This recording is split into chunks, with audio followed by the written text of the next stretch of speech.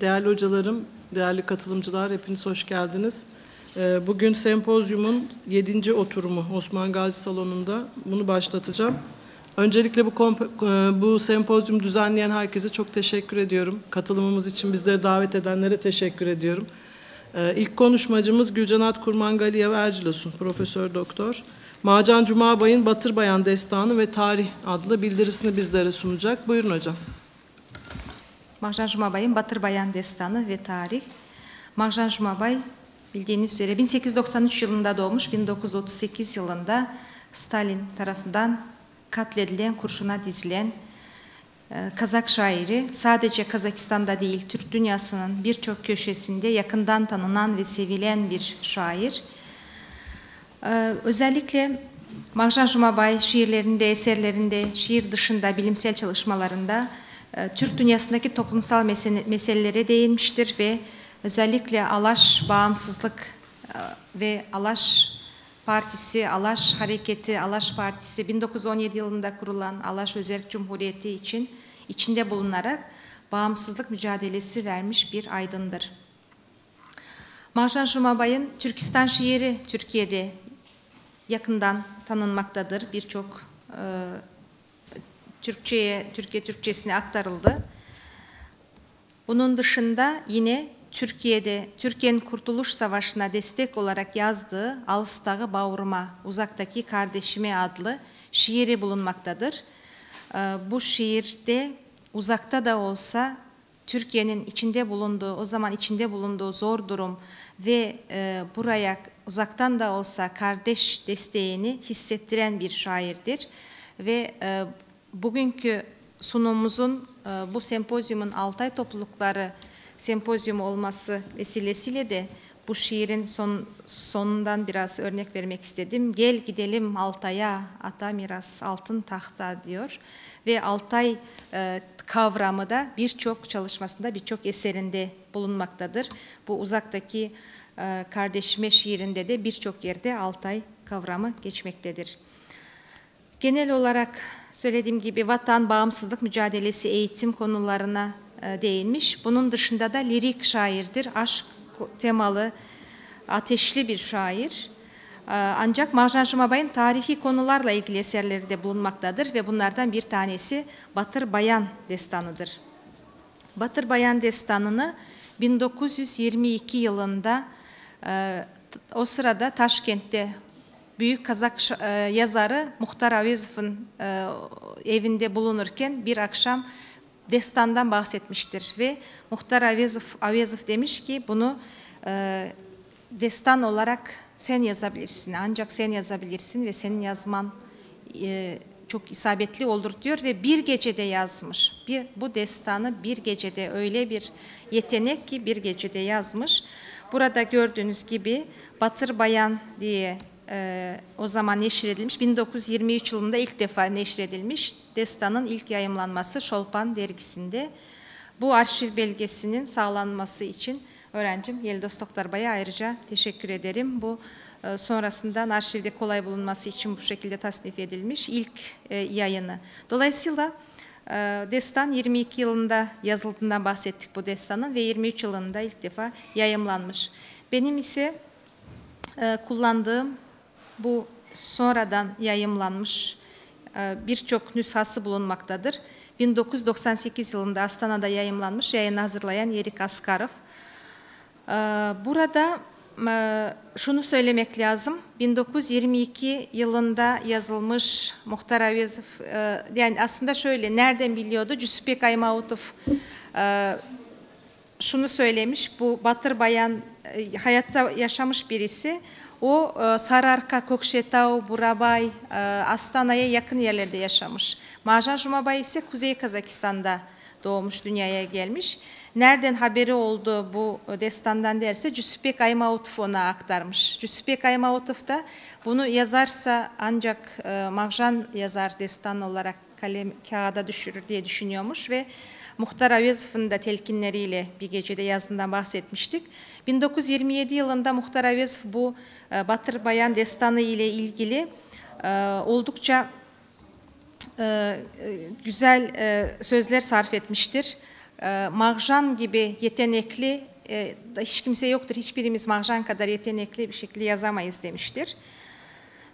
Sonrasında 1928 yılında artık Alaş aydınlarına, Kazak aydınlarına, e, Türkçü ve milliyetçi düşüncede olan Kazak aydınlarına artık yavaş yavaş Sovyet hükümeti tarafından baskılar gelmeye başlıyor ve 1928 yılında bu destan yasaklanıyor.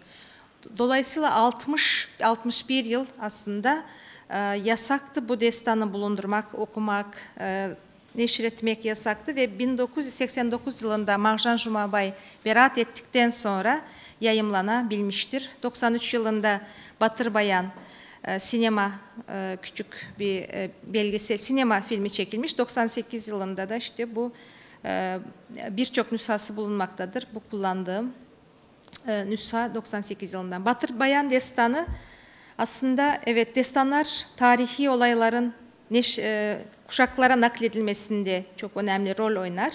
Bu yapma destan türündedir çünkü hayatta e, olmuş yaşamış birisi dolayısıyla olağanüstü e, olaylara az e, yer verilmektedir. Oldukça gerçekçi bir şekilde anlatılmaktadır. 18. yüzyılda Kazak toprakları Cungar saldırısına ya da Kalmuk saldırısına uğradıkları dönemde yazılmış ve bu saldırılara karşı Kazakların kendi topraklarını kahramanca savundukları dönemde yaşanmış olan olayları ele almaktadır. Ablay Han'ın e, hüküm sürdüğü dönem, Ablay Han e, önce Orta Cüz Kazaklarının hanı, daha sonra Üç Cüz'ün de bütün Kazakların ulu hanı olan bir handır, meşhur 18. yüzyılda. E, onun hüküm sürdüğü dönemde bu destanın kahramanı olan Bayan Kasabulatoğlu da e, ismi Bayan, Batır da Bahadır demek. O sırada kahramanlıklarıyla tanınan Bayan Kasabulatoğlu hakkındadır.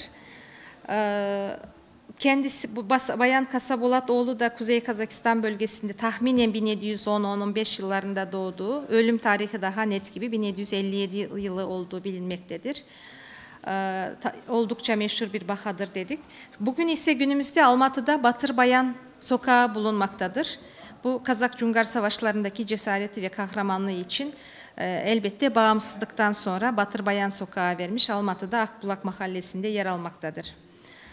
Evet, e, zamandan bahsettik. Tahminen bu olayın da olduğu yıl 1757 yılına denk gelmektedir. Mekan olarak ee, bugünkü Kazakistan başkentine yakın yerler, Sararka dediğimiz e, geniş Kazak toprakları, Kökşetau bölgesi, Bölektau, Burabay, e, Destan'da yine Jolda Özek'te geçiyor. E, bu tür yer adlarını ve nehir, ırmak adlarını görüyoruz.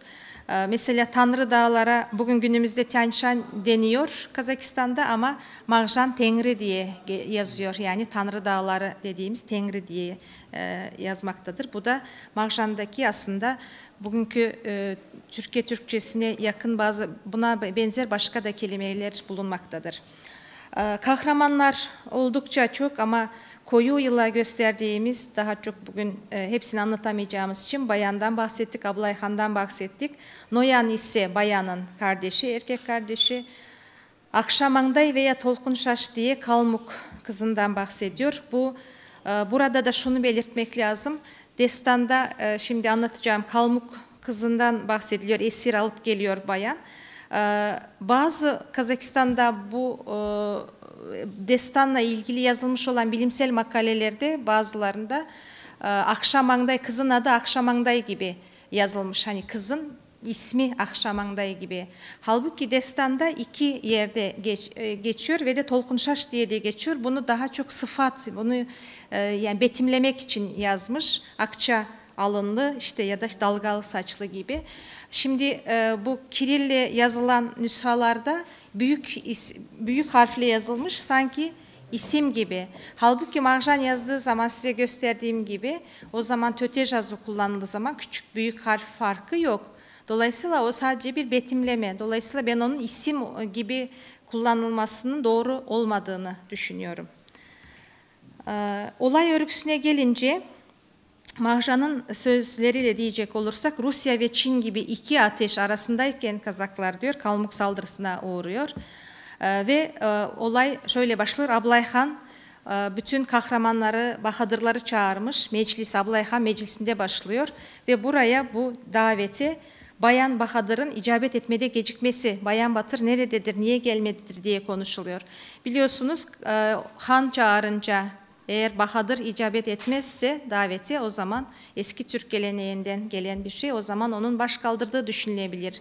Ancak e, evet fakat bu tarafta da bir taraftan tereddüt de etmiyorlar acaba başına bir şey mi geldi bayan böyle yapmazdı e, diye düşünüyorlar. Derken e, destanda eskiye gidiliyor. Bir başka seferde, Kalmuklara yapılan bir seferde Bayan Batır'ın 14 yaşında bir Kalmuk güzelini esir alıp getirdiğinden bahsediliyor ve e, aslında e, Bayan Batır kız, kızdan e, kıza aşık oluyor ama hiç herhangi bir bu, bu yönde ne duygusunu belli ediyor ne herhangi bir şey sadece aynı kendi yaşadığı yerde kız da yaşıyor. Küçük kardeşi var Noyan. Noyan da aynı kıza Kalmuk güzelliğine aşık oluyor. Sonra bir gün Noyan'la kardeşiyle Kalmuk kızı bir e, çayda bir e, yerde karşılaşıyorlar ve e, orada Noyan Batır kendi duygularını ifade edince kız diyor ki ben e, oradan zorla götürüldüm. Benim orada ailem var.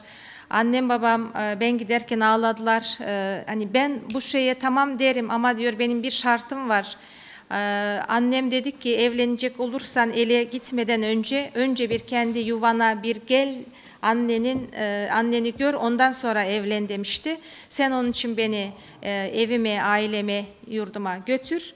E, sonrasında biz seninle çok rahat, mutlu bir hayat yaşarız diyor. Noyan da hemen aşka gelip iki tane en güzel atı seçip hemen o anda kaçıyorlar ve bu olayı bayana haber verdikleri zaman e, bayan çok düşünmeden e, peşlerinden gidiyor. Uzaktan iki karaltı görüyor. Noyan ve kalmak kızını yanlarına gidip önce kardeşini, destana göre önce kardeşini sonra hemen akabinde de kalmak kızını öldürüyor. Sonrasında ise bu sefer Batır Bayan'ın bu işten dolayı bu yapmış olduğu e, işten dolayı çok bir pişmanlık duyduğu ya da bir veda şeklinde orada çok uzun bir süre aslında e, şeyi görüyoruz. Hani mesela burada bir örnek vermek istedim. Sefere, önceki seferden bahsediyor. Sefere kurnaz kalmuka gittim neden? Taburuna bozkurt gibi girdim neden? Tatlı bal, körpe, dal gibi genç güzeli, kör olası iki gözüm, gördün neden? Oku kalbini kızın saplayıp gitmeden, yılan gibi bağrıma basıp getirdim neden? Kadın gibi basamayan yürek cinini deli yüreğe erk verdim ben neden? Boğulup şu otadan çıkmadan öleydim, atılıp ok yılanı gibi kalktım neden gibi pişmanlık duyduğunu, e, işte kardeşim olmayaydın, şunu yapmayaydın, böyle olmasaydı, öyle olmasaydı şeklinde onun e, nasıl e, bir sıkıntı yaşadığını görüyoruz. Sonra sabaha kadar destanda orada sabaha kadar kalıp sabahın ilk ışıklarıyla Ablayhan'ın destan başına dönüp Ablayhan'ın meclisine katıldığından bahsediliyor. Ablayhan meclisine katıldıktan sonra Ablayhan evet seni bekliyordum diyor. Yarın sabah hemen sefere çıkacağız diyor. Tam da sefere çıkmaya hazırlanırken bu sefer yedi tane elçi gelmiş. Yedi elçi Kalmuk tarafına yedi elçi geliyor ve diyorlar ki biz kendi hatamızı anladık. Bu savaştan vazgeçin. Biz size ayıbımızı biliyoruz. Biz dolayısıyla bunu örtelim. Ee, işte gerektiği kadar hayvan verelim, şu güzeller verelim, herkese şöyle yapalım, böyle yapalım. Ee, ve dolayısıyla Ablayhan biraz e, müzakere, barış müzakeresi yerini seçecek gibi oluyor. Fakat sonrasında Kalmukların sözünde durmadığı görülüyor, bekliyor derken onların Kalmukların Çin'le e, işbirliği yapıp daha kalabalık bir e, askeri kolla gelecekleri haberi ulaşıyor. Bunun üzerine Ablayhan çekilme kararını açıklıyor. Batır Bayan hiç çekilmeden e, bunun doğru olmayacağını, çekilmeyi kendilerine yakıştıramayacağını söylüyor. Ablayhan ikinci defa kendi fikrini söylüyor. İkinci defa Bayan söylüyor. Yani bu onun ne kadar cesur olduğunu da göstermek için. Han iki kere konuşmuş ki bir e, Bahadır da çıkıp iki kere e, görüşünü söyleyebilmiş. Ablayhan'ın bu sefer sesi daha da sert çıkıyor. Ee, onun üzerine Bayan Bahadır o gece 100 yandaki 100 yiğidini Kalmuklara kendi başına saldırıda bulunma planını açıklıyor. Ee, ve hakikaten e, artık Ablay Han'ın dediğine uymadan 100 yiğitle kalmuklara saldırıyor. Destanda bir Kazak yiğidine 100 kalmuğun denk geldiğini, dolayısıyla hesaplayacak olursak aşağı yukarı 100 yiğidin 10 bin kadar kolla savaştıkları e, açıklanmaktadır. E, sonuç olarak da elbette orada hepsi kahramanca hayatlarını kaybediyorlar. Hiçbiri geri dönmüyor.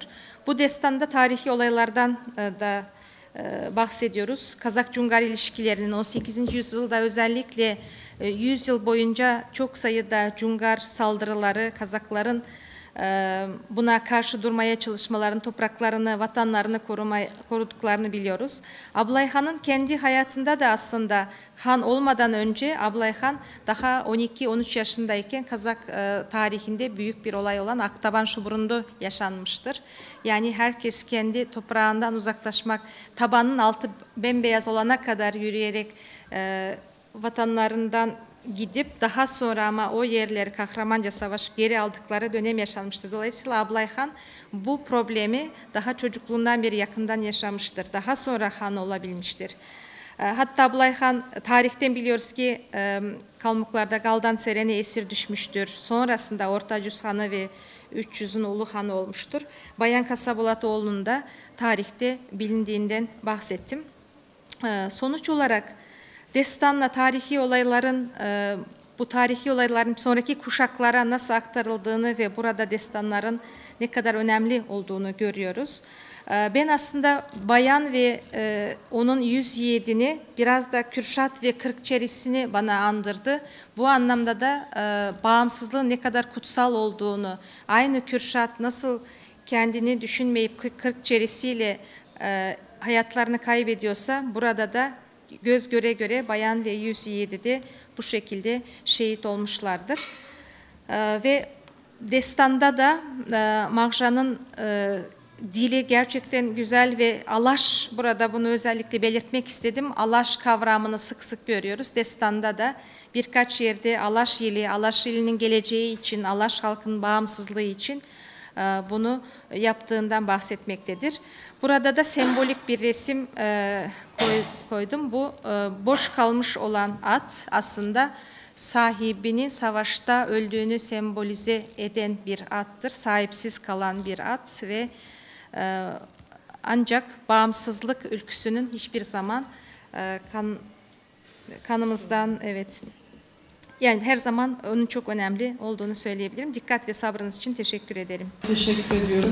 Ee, tabii ki tarihi belge değil diyoruz ama galiba tarihi en çok destekleyen belgeler destanlar. Özellikle son yıllarda yapılan işte bu yapma destanlarda daha tarihle iç içe olduğu da görülüyor.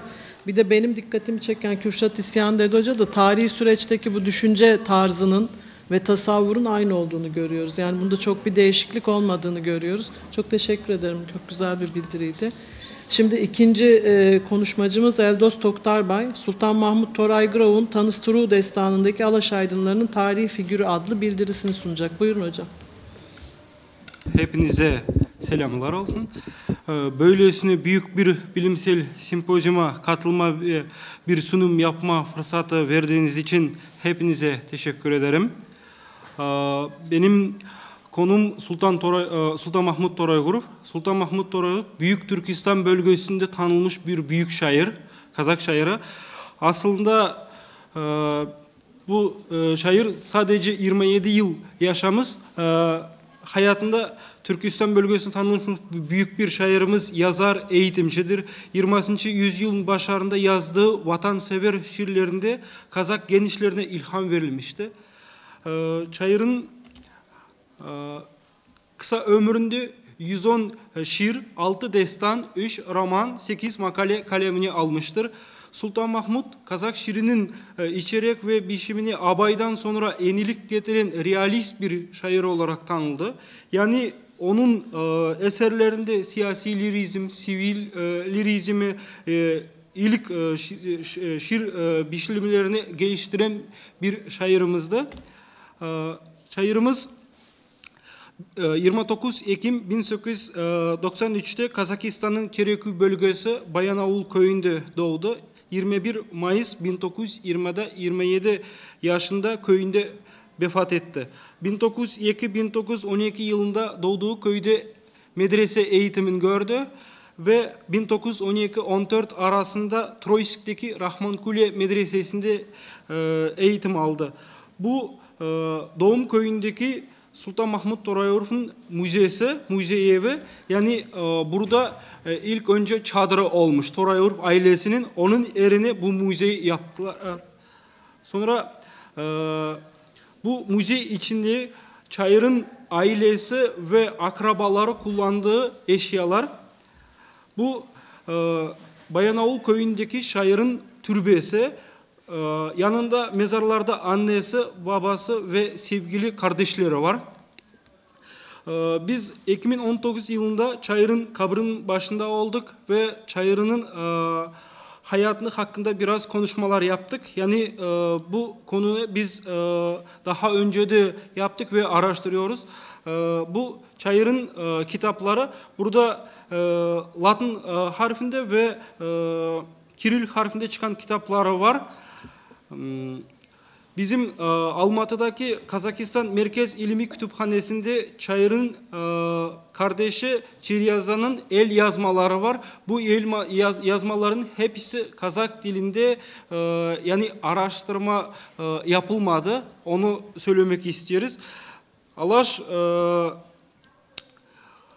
Alaş e, Ulusal Kurtuluş Hareketi'nin en mutlu dönemi 13 Aralık 1917 ve e, 5 Mart e, 1920 arasındaydı. Bu kutsal e, Alaş ulusal bölgesel özelliklerin kurulduğu ve kutlandığı zamandı. Alaş Özürek Devleti Ulusal e, Konseyi Alaş Orada hükümeti kuruldu ve hükümetten sadece e, bir e, taşıma atımı uzakla çeşildi. Yani Kazakistan'ın tarihindeki ilk parti ve ilk e, taş adımı uzakta çeşildiği şey bu Alaş döneminde başladı. E, Hükümetin 15 üyesinin sadece birinde özel eğitimi oldu. Yani bugünkü kolej gibi eğitim almış. 14'ünün hepsinde e, yani e, üniversite mezunu oldu. Aynı zamanda bugünkü ilk Kazak Partisi ve e, Alaş hükümeti kuruldu ve yönetildi. Bu modern Kazakistan'ın ve Kırgızistan'ın ve Özbekistan'ın güney tarafında kurulan Alaş hareket zamanında dönemi yani e, kaplayan e, sınırı. Burada simbolik var. Bakın bu e, çadır Kazak gazetesinin sembolü oldu. Orada Kazak yazısı var ve yukarıdaki e, töte yazı yani e, eski Osmanlı yazısında olan bu Kazakistan'ın 1911-13 e, Haziran'da yazılmış ilk anayasası olarak kabul edilmiş Barlıbek Sırttanov'un Kazak yılının ustavı adına e, anayasası. Yani e, orada Alaş Orda'nın e, belgeleri var ve e, burada Alaş tuğu aslında e, күн сөнгенше сөнбейміз деген алаш ұраны. Yani e, vatandaşlarımızın o zamandaki askerlerimizin kullandığı şiirdi. E, Alaş hareketin yönetimcileri aslında bizim bu üç tarihi şahsiyetimiz yani aslında onlar e, şahsiyetçi olmadan önce yazar, gazeteci, eğitimci olarak tanıldı. Alihan Bökeyhan, e, sağ tarafta Ahmet Baytursunlu ve Mir Yakup Dulatoğlu. Yani bu e, Sultan Mahmut'un şiirindeki e, ilk tarihi figürlerimiz, şahsiyetlerimiz bu e, üç büyük aydınlarımız hakkında yazılmış. Ama bu şiir 1918 yılında yani Alaş hükümeti kurulduğu zaman ilk yazılan Alaş hakkınlarını armayan bir şiirdi. Yani bu şiir Alaş döneminde yayınlanmadı. Sadece el yazmasında kalmış. Hmm, 1933 yılında Çayır'ın ilk eserlerin topluluğu oldu. O yani ilk yayınlanması e, 1933 yılında Kızılorda'da Kazak Devlet Edebi Edebiyat Yayın Evi'nde yayınlandı. Hazır yani e, yayın evini hazırlayan bu kitabın avtoru e, büyük bir yazarımız, eğitimci, aynı zamanda onun e, hemşehriyle bir köyde doğan e, büyük yazarımız Cüsüpbek Aymavutlu oldu. Ama o kitapta Cüsüpbek Aymavutlu'nun isim soyu yok. Çünkü 1931 yılında e, onu Sovyet tarafından yani Stalin döneminde öldürdü. O yüzden onun adı soyadı adsız gitti. Yani e, hazırlayan e, bu yazarımızın adı soyadı yoktu. E, Tanıştırу destanı şairin ilk eserler e, koleksiyonunda yayınlanmıştır. Ne yazık ki bu destan 1950, 1957, 1962 ve 67 sonra 1973, 1980 yılında koleksiyonlarında yer almaktadır. Çünkü 1935 ve 1991 arasında bu eserin tanıtımına yasaklandı. Çünkü Kazakistan'daki e, Kazak ve Sovyet edebiyatçıları bu e, tanıştırı destanın e, pantürkizm şiiri olarak tanıldı ve yasaklandı. O yüzden e, 1933 yılında yayınlanmasından sonra e, Kazakistan bağımsızlığı yıl 1991 e, yılında yayınlanması e, eserinde yani biraz farklılıklar var. Onu biz metin olarak analiz yapmamız gerektir. Çünkü e, Tanıştırı destanı sadece Gorbaçov'un döneminde 18 Mayıs 1991'de yayınlanan Semih Tanı gazetesinde yayınlandı. Sonra biraz defa başka da gazetelere, diğer dergilerde de yayınlandı ama e, Alihan Bökeyhan ve Ahmet Baytursunlu, Mirza Abdullah hakkındaki e, şiirlerin içinde biraz farklılıklar var. Onu e, metin olarak analiz yaptığımızda anladık. Yani e, gördük. Bu e, Alaşk hükümeti bunun içinde sadece e, Otuncu Elcanov'un kolejlik eğitimi oldu. E, Başka diğer e, şahsiyetlerimizin hepsinin e, üniversite mezunu oldu. İçinde 8 yani devlet e, kamu alanda ve ekonomi alanda çalışan e, büyük şahsiyetlerimiz oldu ve bunun içinde sadece Mustafa Çokay yani Avrupa bölgesine gitti. Başka e, e, yani şahsiyetlerimizin e, içinde Ahmet Birimcanoğlu yani hasta olarak 1927 yılında vefat etti ve Otuncu Alcanov ilk e, Stalin tarafından öldürülmüş insan oldu. E, Başka kimsesi yani hayatta kalmadı. Hepsi e, Stalin tarafından öldürdü. Yani bunların e, ailesi, e, çocukları yoktu. E, Torunları oldu ama onların hayatı çok zor oldu. Yani bunların ailesinin hayat döneminde biz tekrardan bağımsızlık gözüyle araştırmamız gerektir. Yani bütün Türk tarihini e, bilmemiz için ve 1917 yılında Kazakistan'ın bugünkü sınırında kurulan Alaş hükümetin Alaş orada e, özellik bu cumhuriyetin anlatmak için gerektedir. Ve bu e, Kazak e, milletvekilleri yani 1905-1916 arasında e, ikinci ve üçüncü e, Rusya İmparatorluğu'nun e, büyük dumasında bu şahsiyetlerimiz Kazak adından e, milletvekili olduğunu bu tanıştırı şiirinde anlatıldı. Tanıştırı şiirinde sadece e, e, Alihan Bökeyhan ve Ahmet Baytursunlu, Mirza Abdullah değil de başka da bizim e, şairlerimiz ve yazarlarımız matematik, bilimsel adam olarak e, Çakarim Kudayverdoğlu, Yakup Akbayev, Alimhan Ermek gibi e, Kazak'ın aydınları da e, vardı. Tanıştırı e, destanı ilk e, iki karakterin arasında sormakta oldu. Yani kara kazak ve okuyan kazak diyor. Kara kazak yani hiçbir zamanda hayatında iletim görmeyen bir kazak. İkincisi okuyan kazak yani üniversite mezunu olan ve medresede eğitim alan e, yani e, 20 100 başındaki eğitimci bir insan oldu. İkisinin arasında diyalog geçiyor. Yani e, o e, kara kazak soruyor. Bizim zamanımız gelirse bağımsızlık için, e, mücadelemiz için kim var Kazak arasında? Kim e, bizim e, bütün Kazakları bir araya getirip e, bağımsızlığım için e, mücadele yapan, e, hareket yapan bir insanımız var mı diyor. Yani okuyan Kazak ona cevap veriyor. Okuyan Kazak Kara Kazak'ın sorduğu sorularına tam ve doğru bir cevap verdi. İki karakter Kazak halkının geleceği, bağımsızlığı mücadelesi ve fikirlerini paylaştılar. Bu destan Sovyet döneminde edebiyat eleştirmeleri tarafından sosyalist kültür kavramına yabancı e, bir sanat eseri olarak tanımlandı ve incelenmesini yasaklandı. E, Bizim e, asıl dinimiz İslam dini ve çayırlarımızın Alaş bağımsızlığı için yaptığı bu hareketlerini bu şiirde yazılması ve 1991 yılında eniden yayınlanan kitaplarında yani Çayır'ın üç ciltlik eserlerinde bu şiir biraz farklılıklar var.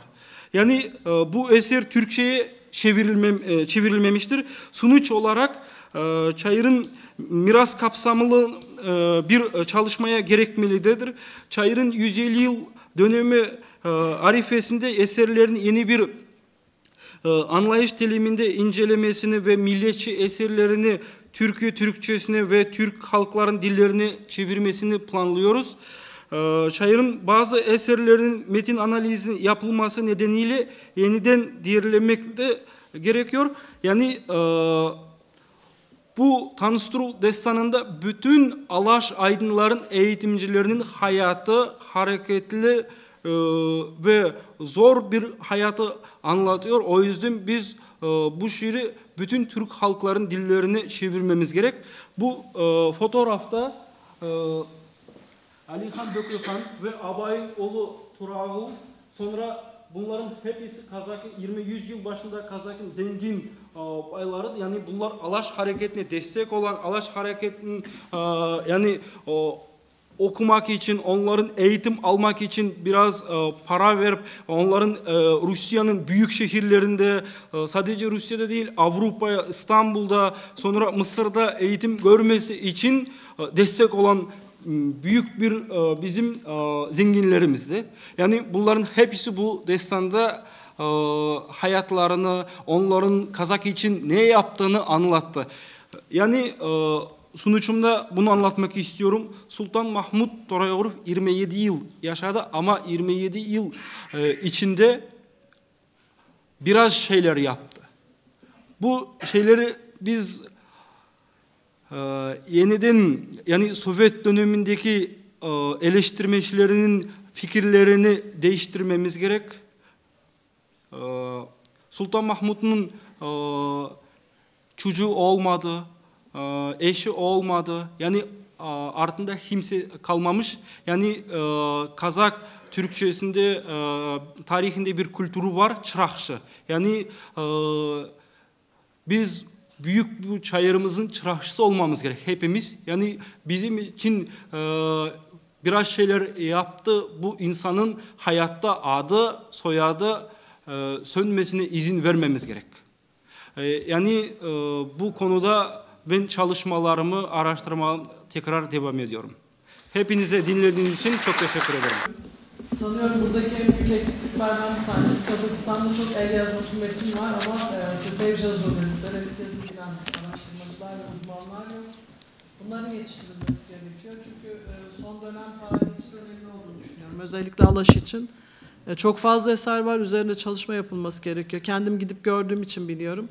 Eserlerin çünkü ne olduğunu çok fazla bilmiyorlar. Benden yardım istemişlerdi. Tespit edip isimlerini yazıp koymuştuk mesela Semey'de. Onun için hani bu konuda uzmanın çok hızlı bir şekilde yetiştirilmesi gerekiyor. Daha çok eseri aktarabilmek için. Teşekkür ederim. Sanıyorum üçüncü konuşmacılarımız şu anda yok. Bir arkadaşımız gelmiş ama e, ben Sevgi Hanım'a söz vereyim. Gelirlerse onlar devam etsinler. Sevgi Dal, Kazak destanlarında yer alan atasözleri ve atasözlerin toplumsal düzene etkisi üzerine adlı bildirisini sunacaklar. Buyurun hocam. Teşekkür ederim. Değerli e, sempozyumda olmaktan çok mutluyum. E, ben Kazak destanlarında yer alan atasözlerini toplumsal düzene yansıması e, bakış açısıyla değerlendirdim. Öncelikle kısaca destanlardan bahsetmek istiyorum. Ardından atasözleri ve destanlarda yer alan atasözleri şeklinde bağlamak istiyorum. E, destanlar bildiğimiz gibi sözlü geleneğin en önemli temsilcilerinden, özellikle sözlü geleneğin en önemli temsilcilerinden görülen edebi türlerdendir. Ve e, içerisinde barındırdığı kültürel bilgi sebebiyle de halk bilgisi unsurları e, konusunda ilk tercih edilen edebi türlerden biridir. E, Şükrançı'nın de ifade ettiği gibi e, savaş, din değiştirme, göç, kuraklık gibi millet vicdanını etkileyen sarsıntılar bu e, eserlerin oluşumunda çok önemli olduğu için halk bilgisi unsurlarında son derece yaygın olarak bulabiliyoruz. E, atasözlerine geldiğimizde atasözleri de Türk kültürünün e, hemen her konuda e, bilgi sahibi olabildiğimiz yine edebi türlerinden öğretici bir kültür hazinesi diyebiliriz onun içinde. E, aynı zamanda toplumsal düzen kurallarını, kabulleri, e, o topluma ait bakış açılarını da çok net e, görebildiğimiz için e, bu unsurların da atasözlerin e, destanlar içerisinde yer almış olması son derece kıymetli diye düşünüyorum. E, sözlü hukuk kuralı niteliği taşıyan e, bir özelliğinin olduğunu da burada vurgulamak istiyorum atasözlerinin. Benim e, elde ettiğim atasözlerinde de zaten toplumsal düzen kurallarına e, bakış açısı şeklinde bağlayacağım e, atasözlerinden de bunu ayrıntılı bir şekilde görebileceğiz. E, sözlü hukuk kuralları da yalnızca yazı öncesi Türk geleneksel hayatında değil, modern hukukun yazılı olmayan kaynaklarında dahi yer almaktadır. Bildiğimiz gibi örf adet hukuku şeklinde de geçer. Sözlü hukuk kuralı ya da töre olarak da adlandırılan kuralların benimsenebilmesi için uzun yıllar uygulanmış ve benimsenmiş olması şartı aranır. Atasözleri bu yönüyle oldukça önemli. E, atalar tarafından tecrübe edilmiş ve uygulanmış bu bilgiler kalıp sözler haline gelerek nesilden nesile aktarılmış ve benimsenmiştir bildiğimiz gibi. Yine anlam bilim çalışmalarında da e, bunu görüyoruz. E, gösterge ve anlam ilişkisine dikkat çektiğimizde moda, törenler, davranış biçimleri, göstergeler kültürel anlamlar taşırlar ve biz bu kültürel anlamları dil göstergeleriyle sunuyoruz e, günlük hayatımızda da. Bu dil göstergelerini örnek olarak da atasözlerini verebiliriz.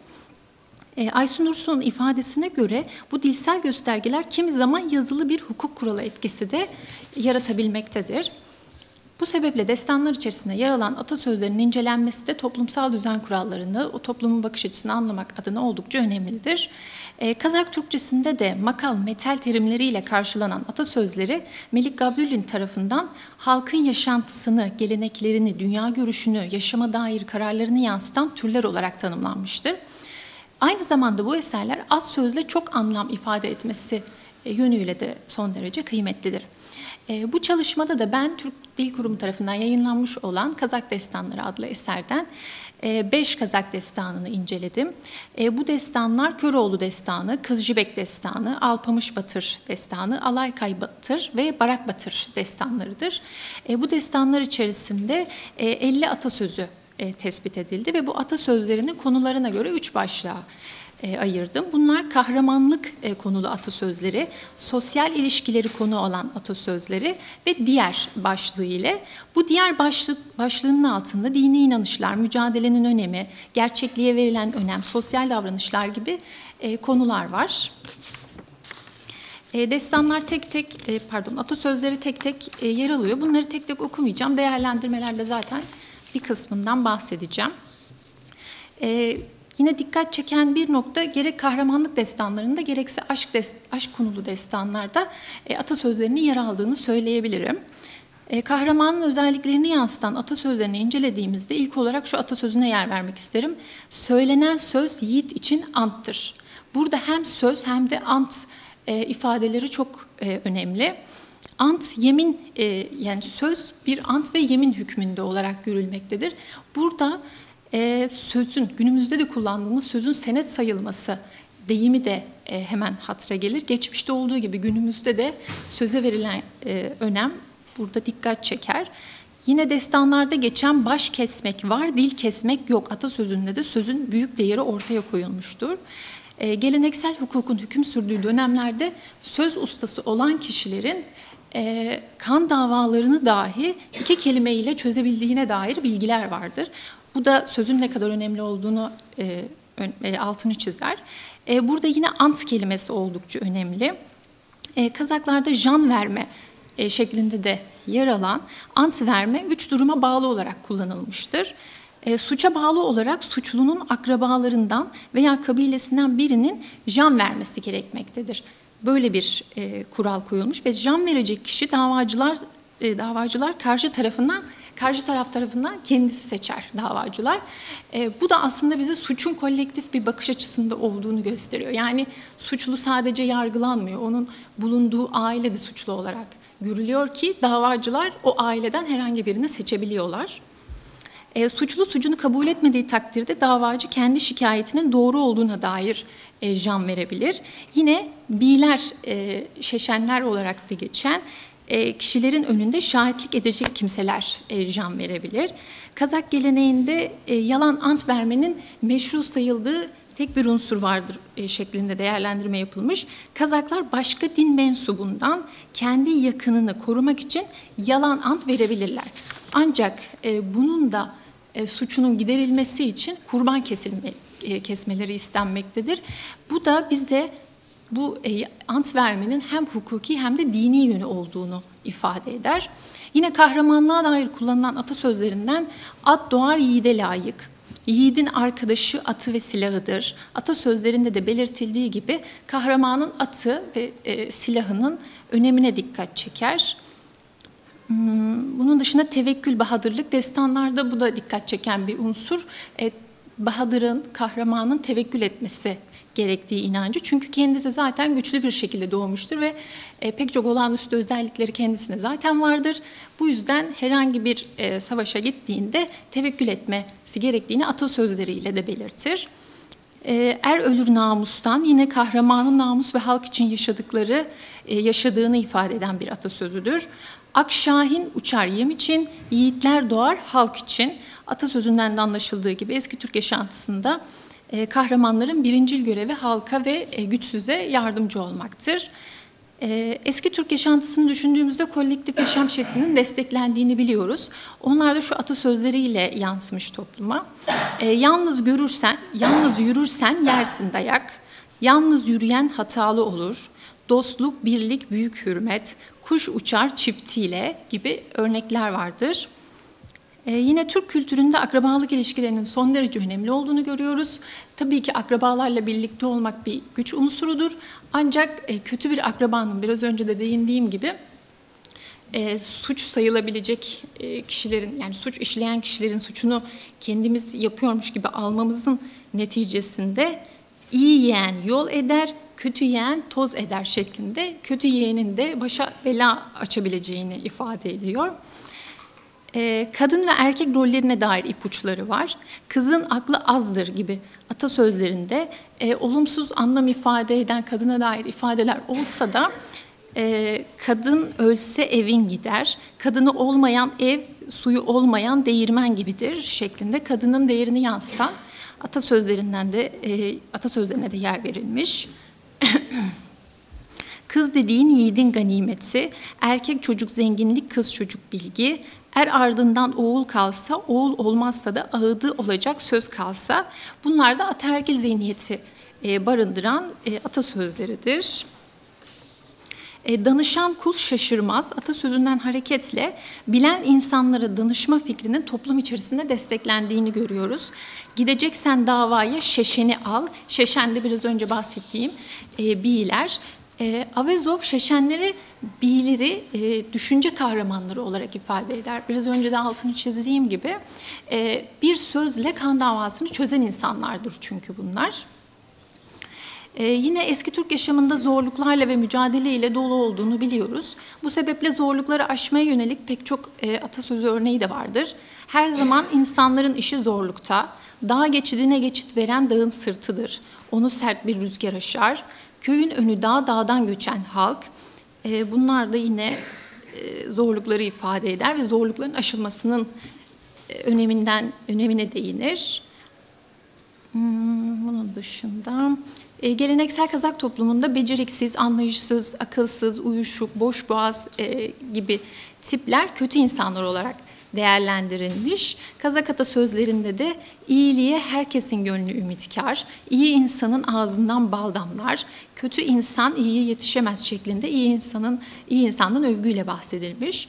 Yine de e, yine bin cennetten bir gün yaşam iyidir atasözünde yaşamın kıymetini yansıtan e, bir bakış açısı. Altının kıymetini kuyumcu bilir atasözüyle işin ehline verilmesine verilmesinin toplum faydası olacağına dair inancı e, barındıran bir bakış açısı vardır. Yine kader inancını yansıtan Allah'ın topudur insanın başı gibi e, atasözüne de yer verilmiştir. Bunun gibi e, 50 atasözünün değerlendirilmesi tarafımca yapılmıştır. Şimdilik burada vermek istediğim örnekler bunlar. Zamanını çok aşmak istemiyorum. Dinlediğiniz için teşekkür ederim. Çok teşekkür ediyorum. Güzel bir araştırma.